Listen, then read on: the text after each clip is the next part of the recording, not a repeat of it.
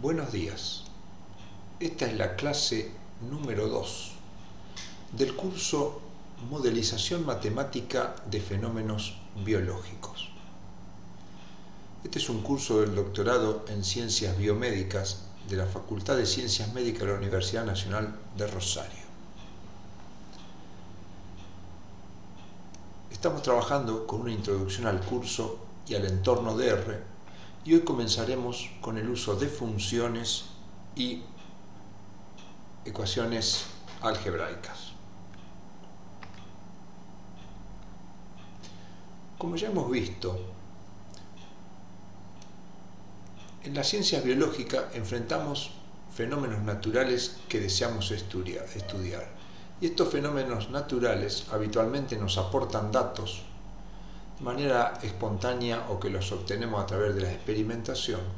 Y nuestro objetivo con la modelización matemática es obtener funciones, es decir, obtener ecuaciones matemáticas que después nos permitan trabajar con ellas, ya sea validándolas con los datos obtenidos, realizar simulaciones, es decir, experimentos in silico, o predicciones de resultados que tendrían nuestras variables pertenecientes al fenómeno natural. Como ya hemos visto, el entorno de R se trabaja desde una consola, interactuamos a través de teclado y pantalla. Tenemos dentro de nuestro espacio de trabajo dos importantes archivos que son el archivo RData que junta nuestros objetos y el RHistory que va recopilando todas nuestras rutinas. Y podemos interactuar con bases de datos, por ejemplo, planillas de cálculo, cosas que haremos en la clase de hoy. Hoy comenzaremos con el trabajo de funciones y ecuaciones algebraicas. Como este curso es muy heterogéneo en los alumnos que lo, que lo componen, arrancaremos desde cosas extremadamente sencillas. Una función es una ecuación matemática que habitualmente tiene una variable que llamamos variable dependiente y otra variable que llamamos variable independiente. La asignación de dependiente o independiente es arbitraria y veremos más adelante que no siempre tenemos una sola variable dependiente o una variable independiente. Esto puede ser más complejo, pero en este caso partimos de algo extremadamente sencillo. Entonces, una ecuación donde hay números, operaciones, y a dos de ellas, normalmente que la damos con las letras X e Y, pero no es necesario utilizarlas siempre, podemos cambiar, llamaremos variable dependiente e independiente. ¿Cómo funciona una función? ¿Cómo funciona una función? No es otra cosa que una calculadora, es decir, si x toma el valor 3, yo coloco 3 acá, lo multiplico por 2 y me da el valor 6. Entonces lo que nos preguntamos es x, ¿qué valores puedes tomar? A eso en la matemática lo llamamos el dominio de x. En general, x puede tomar cualquier valor real, es decir, positivo, negativo, fraccionario, siempre y cuando en la expresión no aparezca cociente o logaritmo o raíces como la raíz cuadrada o cualquier otra raíz de índice par. Ahora, este dominio surgirá justamente de estas restricciones matemáticas, es decir, si hay cocientes, si hay logaritmos, si hay raíz, deberemos estar alerta porque habrá valores de x que no podrán ser asumidos, ya que cuando los quiera reemplazar no, no podré realizar el cálculo. Pero también acá estamos en el área biológica y muchas veces, aunque la matemática nos permita ciertos dominios, la biología no los permite. Supongamos, volvamos a nuestra función, y igual a 2 por x. Y transformemos las variables, supongamos, a cuestiones biológicas. Y podría ser, por ejemplo, el peso corporal, de un animal que estamos utilizando en la experimentación y x, que es la variable independiente, podría ser el tiempo. Si uno mira esta función, peso corporal igual a 2 por tiempo más 12, no tiene ninguna restricción matemática porque no aparece raíz, cociente ni logaritmo. Por lo tanto, podrían ser todos los números reales. Sin embargo, en la biología no puede ser, porque si estamos hablando de un organismo vivo al cual yo peso, este organismo vivo existe para nuestros experimentos desde el momento que nace hasta el momento que muere. Por lo tanto, el dominio en la biología abarcaría desde cero hasta el día de la muerte. Si bien con la ecuación podríamos darle tiempos negativos y obtendríamos peso, sabemos que en la realidad un tiempo no puede ser negativo. También podríamos asignarle al tiempo un valor posterior a la muerte y en este caso tendría algo de sentido por lo que estaríamos haciendo es una predicción. Uno diría, bueno, supongamos que el animal murió a los 100 días y con ese valor, reemplazándolo acá, me hubiera quedado 2 por 100, son 200 más 12, me hubiera dado 212 gramos el peso. Yo ya sé que en condiciones reales este animal no ha superado los 212 gramos porque ese día murió y ya no existe más sobre la Tierra. Pero si yo dijera, bueno, hago una predicción, estoy utilizando mi modelo justamente para hacer una predicción, ¿cuánto hubiera pesado si el pobre hubiera logrado vivir hasta los 200 días? Entonces me quedaría 200 por 2, 400, más 12 me daría 412. ¿Ha llegado a pesar 412 el animal? No, porque murió antes, pero si hubiera seguido viviendo y esta función hubiera sido válida hasta los 200 días, este sería el peso. Entonces esto es un ejemplo de uso de un modelo para una predicción o una experiencia in sílico, porque en realidad acá hemos hecho vivir un animal hasta los 200 días, cuando en realidad no ha llegado. Bueno, muy bien. Vamos a ir a trabajar ahora a nuestro entorno DR. Bueno, en nuestro trabajo en, R, nuestro trabajo en R por lo, trabajaremos con la consola, con la presentación que usted prefiera. Yo particularmente prefiero siempre el fondo negro y las letras en verde, pero uno puede cambiar si quiere tranquilamente acá desde eh, preferencias eh, el formato. En esta clase tenemos una tabla, una planilla de cálculo. Las planillas de cálculo, como puede ver acá arriba, dice tabla MM2. De ahora en adelante durante el curso las planillas llevarán el nombre tabla MM por el curso Modelos Matemáticos y el número 2 identifica a la clase.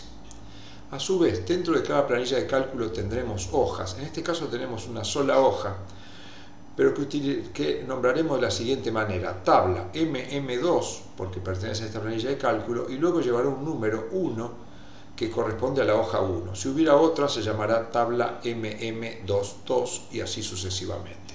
Esto dará orden en nuestros archivos y en nuestro trabajo, en el entorno de nuestro espacio de trabajo.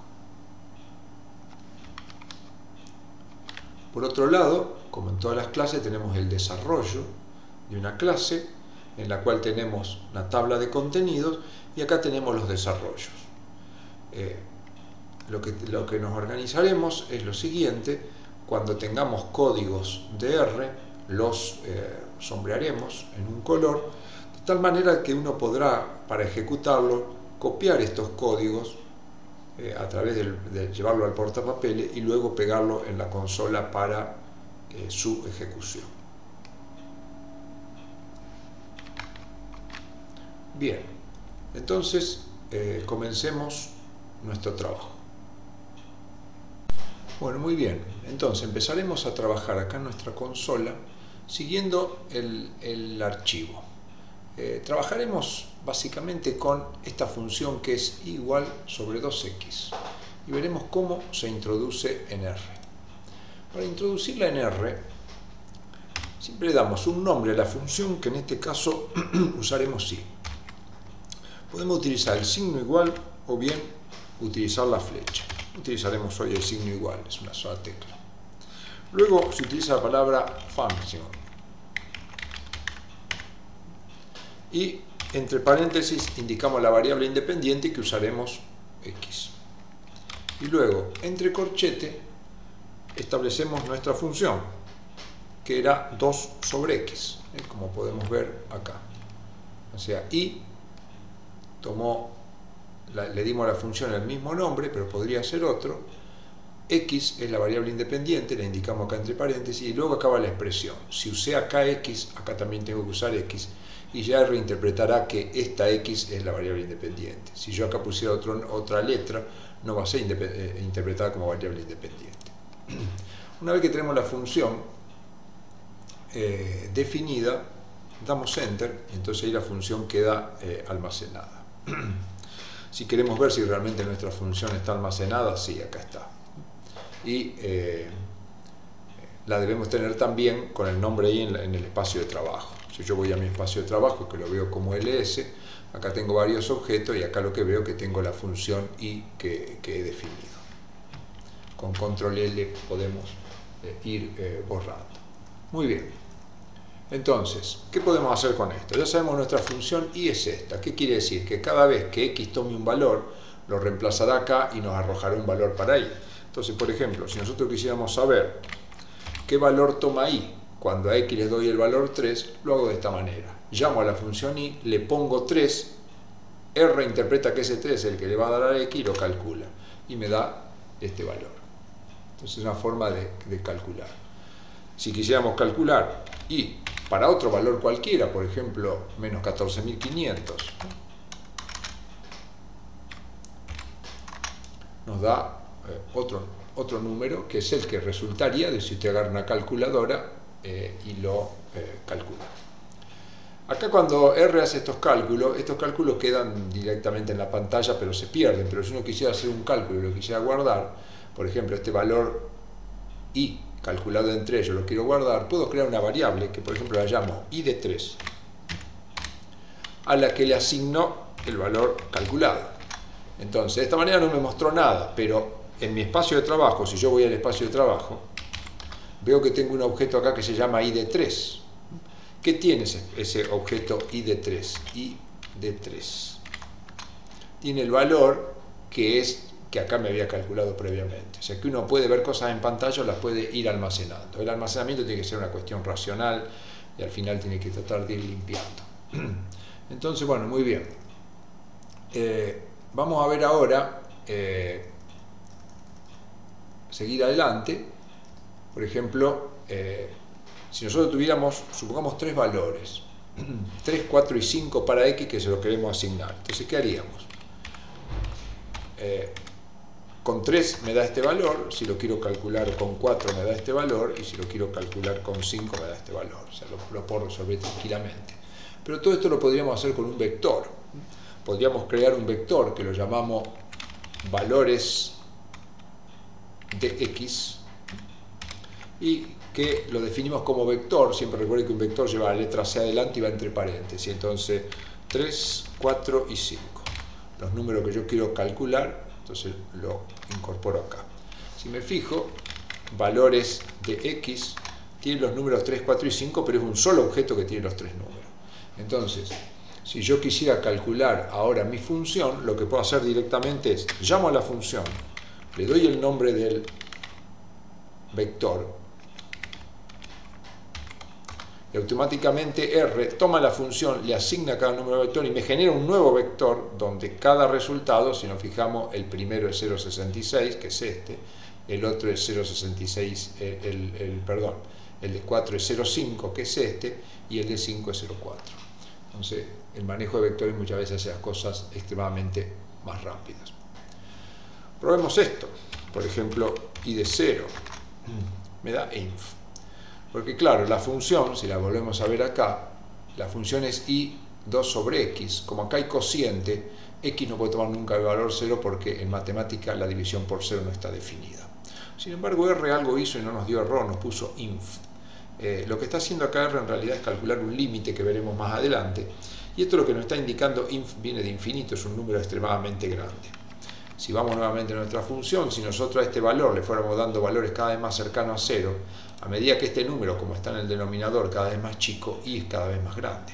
Por lo tanto, acá lo que nos está calculando es, es un límite, lo que nos está diciendo es que muy cerca de cero el valor de i va a ser muy grande, pero el cero no me lo puedo calcular por restricciones matemáticas. Muy bien. Eh, funciones. Las funciones no necesariamente tienen que ser de una variable, pueden ser funciones de más de una variable. Por ejemplo, nosotros hemos definido una función que la vamos a llamar III. ¿cierto? Esta función siempre la definimos con function y entre comillas, entre paréntesis le tenemos que definir cuáles van a ser las variables. Nuestras variables son x, z y w.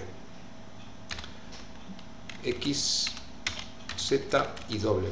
Y luego definimos la función entre eh, llaves.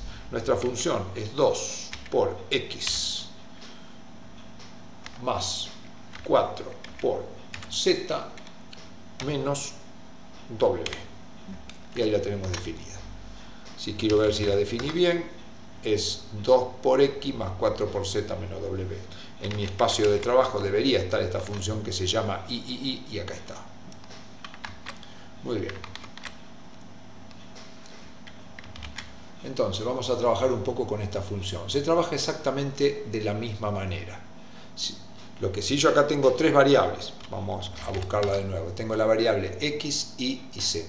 Entonces, si yo escribo y, y, ¿qué hice? Llamé a la función, le doy a x, por ejemplo, el valor 1, ahí el valor 2, ah, perdón, a z el valor 2 y a w el valor 3. Cuando haga esto, ¿qué va a hacer r?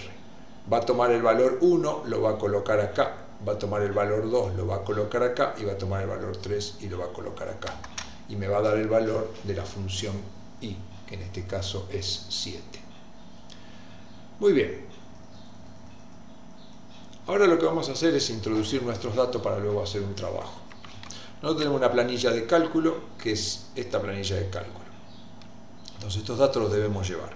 Para llevarlos a R debemos escribir un código y esa tabla, como esta tabla se llama tabla M, tabla MM21, así la vamos a introducir.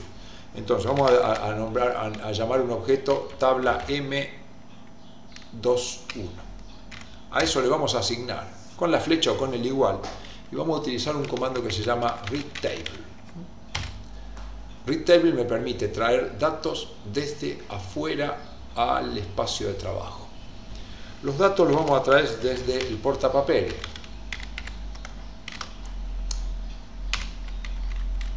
Los encabezamientos de la tabla los vamos a utilizar. En mi computadora, como punto decimal, yo uso la coma. Le indico esto a R para que interprete cada cosa que recibe. Después, separador, lo vamos a escribir es barra invertida T. Esto me está indicando de que estoy trabajando con una planilla de cálculo y que tiene columnas para que respete las columnas. Y luego vamos a utilizar encoding. El encoding es el, tipo de codificación que tienen mis datos para que me aparezca la transferencia sea bien. Esto va entre comillas, yo voy a utilizar latín 1 y es lo que vamos a utilizar habitualmente. Hay muchas computadoras, si, si uno ya tiene que R, R trabaja con punto y nuestra planilla trabaja con punto, eh, por ahí no hace falta que le especifique cada cosa, pero si lo hago bastante mejor. Entonces, ¿ahora qué hago? Me voy a mi planilla de cálculo, la marco, la copio, vuelvo a R y le doy Enter a mi comando. Entonces, si ahora voy a mi espacio de trabajo, veo acá una tabla MM21 que es la que acabo de introducir. Si la llamo, acá tengo la tabla que coincide con la tabla que yo tengo acá. Lo que ha hecho R es todo lo que era cómo la transformó en punto, pero básicamente esto es lo que tengo. Muy bien, entonces ya tenemos nuestra tabla introducida con la que vamos a trabajar. Luego veremos algunas cuestiones de auditoría para asegurarnos. Entonces acá tenemos una columna que tiene estos valores, y yo quisiera ver solo una columna, puedo escribir el nombre de la tabla y con peso le indico que quiero la qué columna, y acá le indico la columna. Entonces, si me fija, me fija ahora como un vector todos los datos de esa columna. Entonces, yo tenía una función que era 2 sobre x. Entonces, yo puedo querer aplicar mi función a todos estos valores. Entonces, una forma, ¿qué sería? Y una forma sería tomar la función i y darle, por ejemplo, el primer valor, 2.0. Y ahí me calcularía el valor. Pero podría darle todos los valores de, un arranque. Entonces, ¿qué tendría que hacer? Yo tomo la variable i y le voy a dar los valores de tabla mm 21 peso medición. Acá que le estoy dando a R, le estoy dando a la función que ya tengo introducida cada uno de estos valores que están en la columna y ya automáticamente me va a calcular los valores de i, que acá me lo hizo simplemente al dar enter. Muy bien. Vamos a introducirnos brevemente al trabajo de gráficos. El gráfico más sencillo se hace con la función plot. En la función plot se indica primero la variable independiente y luego la variable dependiente. Yo como variable independiente voy a tomar este valor. Esto lo copio y lo puedo pegar acá y como variable dependiente voy a tomar esto, que es, ¿qué es, la variable, ¿qué es la variable dependiente en este caso? Es el valor de la función valorizado en las tablas de medición. Si le estoy dando a, esto le estoy dando el valor x y los resultados que me da aplicar la función el valor y. Cierro el paréntesis y acá tengo la gráfica. Esta gráfica me muestra acá, como podemos ver, y tabla, 20, tabla MM21 medición, serían los valores de nuestra Y, y acá los valores de nuestra X. Muy bien, sigamos un poco adelante. También podemos ver la función. Si yo pongo plot i directamente, eh, vamos a, limpiar la pantalla.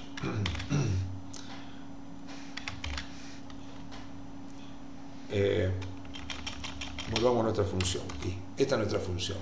Yo puedo querer ver la función sin darle valores, es decir, que me la grafique para todos los valores. Entonces yo puedo utilizar plot y, y directamente me muestra eh, la función, pero me la muestra siempre en el intervalo que va de 0 hasta 1.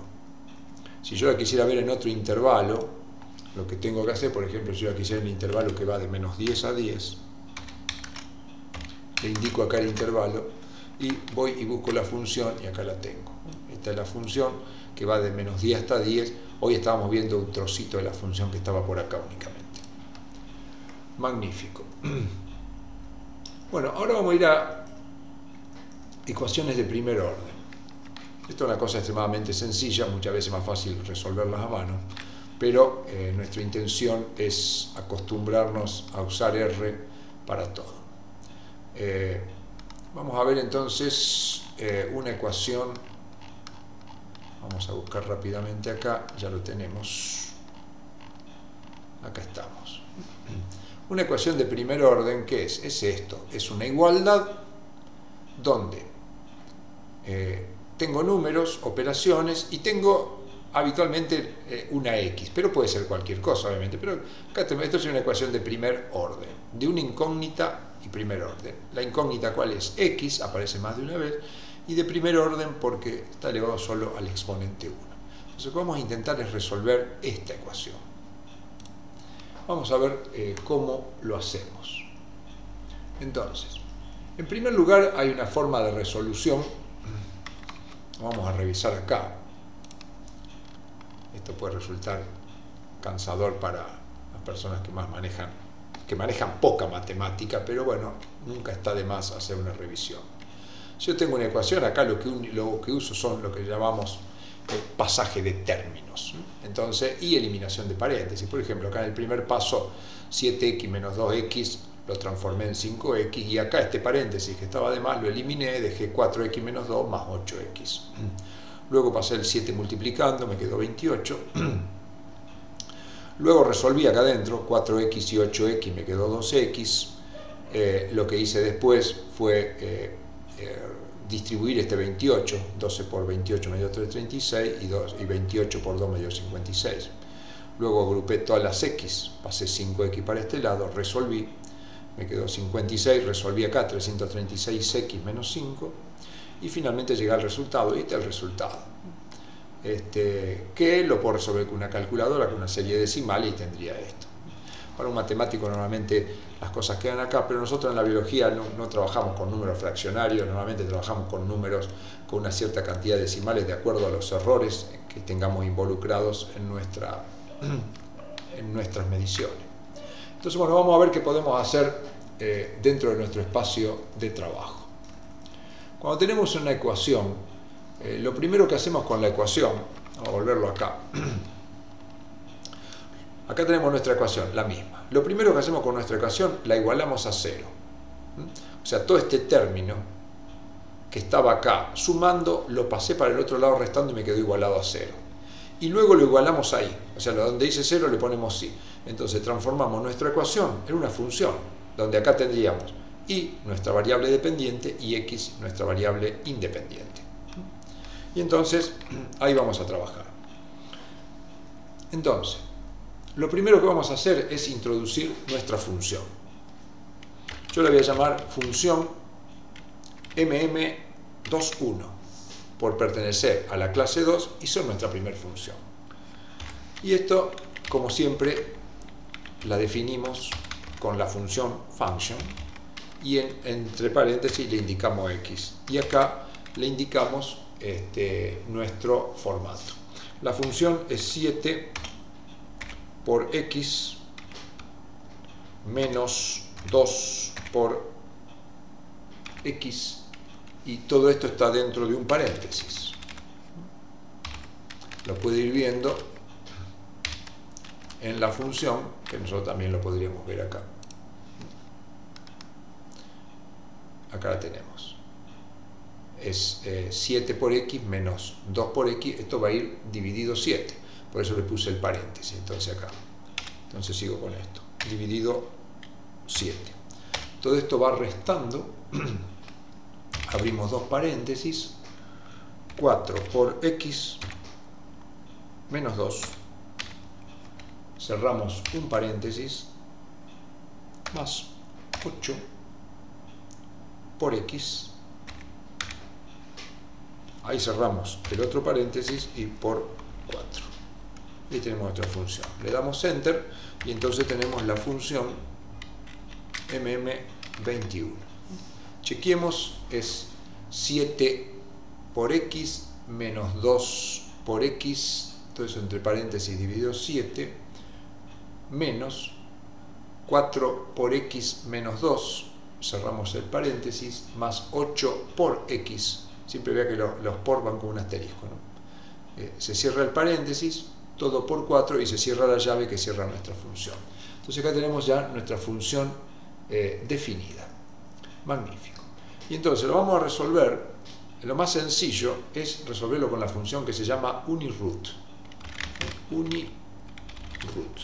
Acá ¿qué hacemos? Indicamos el nombre de la función, que se llama función mm21, y le indicamos como un vector el intervalo en el cual posiblemente esté el resultado, ¿eh? el, resultado de nuestra ecuación. Entonces ponemos entre menos 10 y 10 y acá nos da una serie de cosas y este es el resultado.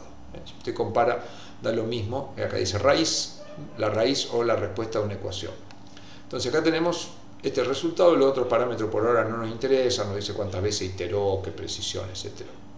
Entonces esta es una forma de resolver. Eh, está, está, entre 0 y 1, si nosotros hubiéramos, por ejemplo, puesto eh, este valor, le puse un intervalo que va de menos 10 a, eh, perdón, vamos a ver, de menos 10 a 0, vamos a borrar porque acá se complicó, ahí está, me dice error en un, root, el, el, value una serie de signos y cosas que, nos dice que, está, que lo básico es esto, hay un error. ¿Por qué me dio un error? Y bueno, me da un error porque el, el, valor de x que satisface mi ecuación no está en este intervalo. Entonces, eso nos daremos cuenta, entonces uno dice, bueno, ¿y cómo resuelvo entonces si yo no sé en qué intervalo está? Bueno, lo que le aconsejo, por ejemplo, es probar de entrada con un valor bien grande para un lado y para el otro. Y entonces ahí lo resuelve. Eh, es decir, es como agarrar una gran parte de mi dominio pero igualmente así podría tener dificultades que, no, lo pueda resolver. Pero ya veremos herramientas en las próximas clases.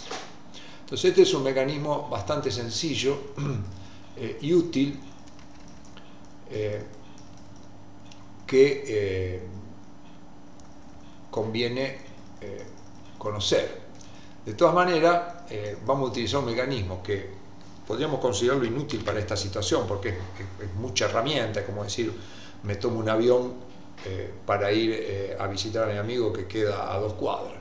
Pero la función que vamos a utilizar eh, va a ser de muchísima utilidad más adelante, entonces vamos a ir introduciendo acá debido a su complejidad.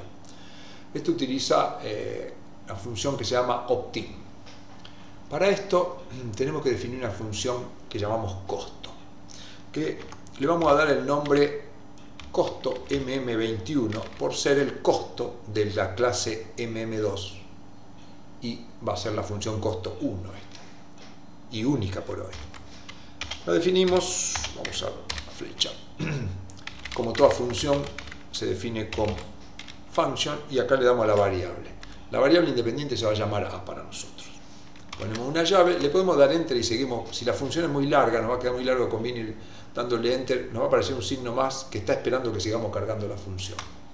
Acá va a haber una variable f que va a ser function function 21, que es nuestra función, perdón, function mm21, que es nuestra función, valorizada en A, multiplicada por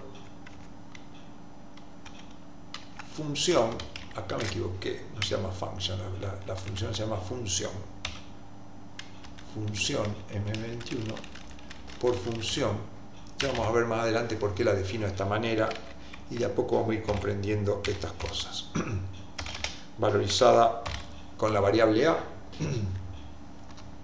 acá vamos a introducir una función que se llama syslip.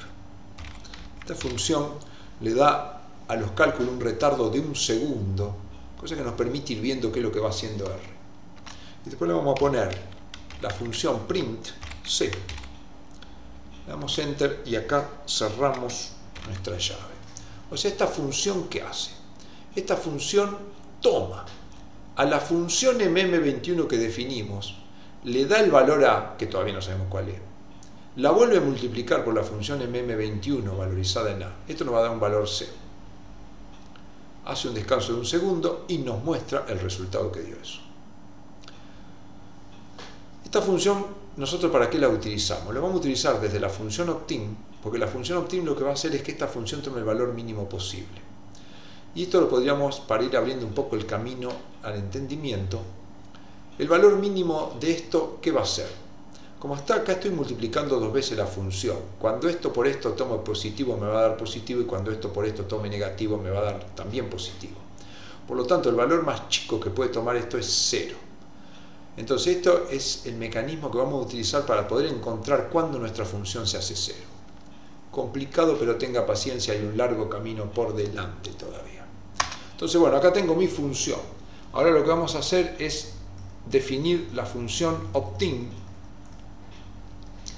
y crearemos un objeto que vamos a llamar optim mm21 optim mm21 y a eso le vamos a asignar el resultado que nos dé optim optim lleva varios argumentos. Un argumento es indicarle qué valor va a tomar de arranque nuestra variable a que definimos acá arriba porque vamos a interactuar con las dos cosas usted inténtelo resolver siguiendo las instrucciones y de a poco irá comprendiendo. No es fácil. Optim tiene una función, que la función de Optim es costo mm21. O sea, Optim usa aquella función como parte de ella. Luego elegimos un método de trabajo esto menos se tiene que preocupar. El método que utilizamos se llama Brent. Hay diferentes métodos para resolver diferentes cosas. Hay un parámetro lower que lo ponemos en 10 y un parámetro upper que ya veremos que quiere decir que también lo ponemos en 10. Y un parámetro control que lo ponemos en list. 3 igual a 1 cerramos este paréntesis y cerramos el otro y acá tenemos optim. Entonces la función optim, ¿qué va a hacer? Va a tomar el valor A, va a venir acá, se lo va a asignar acá, va a llamar la función mb21, que ya no sabemos ni dónde la dejamos, pero es la función que habíamos definido en su momento, esa función que era 2 sobre x. Le va a dar el valor A y va a calcular cuánto nos da C. Optim va a mirar ese valor y le va a dar otro valor a tratando de que C sea cada vez más chico. A medida que C sea chica, quiere decir que nos vamos acercando al valor de la función cuando vale 0 y por lo tanto estamos hallando el valor de x que satisface nuestra ecuación. un largo recorrido mental, pero solo una muestra de lo que va a ser este curso. Si todo esto está bien cargado, le damos Enter y debería funcionar. Nos dice que hay un error y nos viene muy bien esto. Acá hay algo que ha sido mal cargado y trataremos de revisar qué ha sido. Eh, vamos a ver si está bien cargada la función. Es opt-in, le dimos 0,5, la función se llama costo mm21 method blend lower igual a acá le puse lower y upper le puse lo mismo, fíjese, entonces acá no pueden tener el mismo valor, a uno le doy menos 10 porque quiero barrer de menos 10 a 10. Esto está un poco relacionado por la zona donde está el, resultado. Entonces ahora sí, ahí está trabajando. ¿eh? cada un segundo me va mostrando un valor de C que como veo se va achicando enormemente. Y ahí terminó. Es decir, Optin ha ido calculando valores de C y por lo tanto valores de la función de manera que cada vez fue más chico. Esto es 1,3 por 10 a la 29, un valor que podríamos decir técnicamente cero. Ahora, ¿cuánto es el valor de x que satisface mi ecuación algebraica? Para ver esto es muy sencillo y le tengo que pedir, yo acá todo lo que hizo Optin lo, lo guardó en este objeto.